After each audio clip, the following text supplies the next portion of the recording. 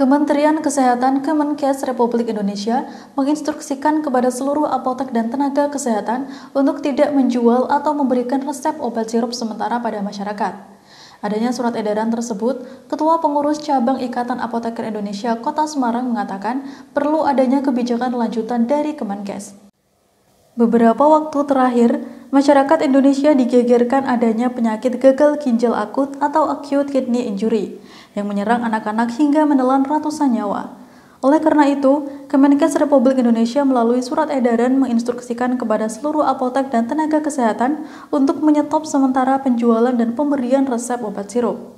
Hal ini merupakan bentuk upaya kewaspadaan penyakit gagal ginjal akut yang diduga berasal dari cemaran etilen glikol dan dietilen glikol berlebih pada sirup. Sementara itu, Ketua Pengurus Cabang Ikatan Apoteker Indonesia Kota Semarang mengatakan bahwa surat edaran yang dikeluarkan Kemenkes hanya melarang apoteker untuk sediaan obat sirup. Sedangkan obat-obat sirup juga dijual di berbagai tempat seperti swalayan atau minimarket. Yang pertama menyikapi uh, surat edaran uh, Menteri Kesehatan tentang pelarangan penjualan obat sirup di apotek. Yang perlu dicermati bahwa sirup yang berisi zat aktif paracetamol yang saat ini dicurigai uh, menyebabkan terjadinya uh, gagal ginjal akut pada anak. Kalau kita lihat di logo uh, sediaannya, dia mengandung logo bulat berwarna biru.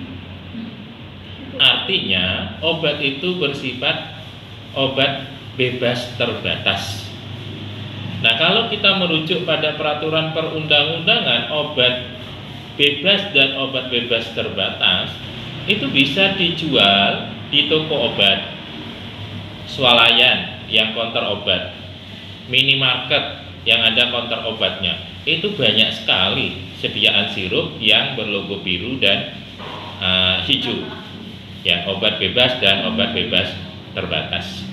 Sehingga tidak semata-mata yang uh, apa obat itu hanya dijual di apotek. Ya. Sehingga kalau himbauannya hanya menutup penjualan obat di apotek saja, maka ini akan jadi bias. Ya, karena obat itu uh, bisa dijual di tempat lain.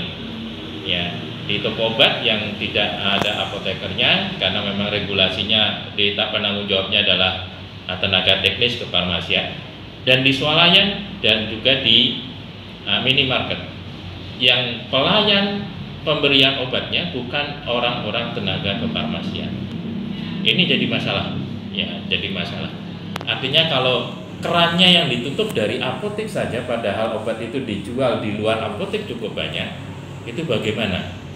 Apalagi surat edarannya hanya, hanya membatasi ya melarang apot, uh, menghimbau apotek tidak menjual obat sediaan sirup secara keseluruhan.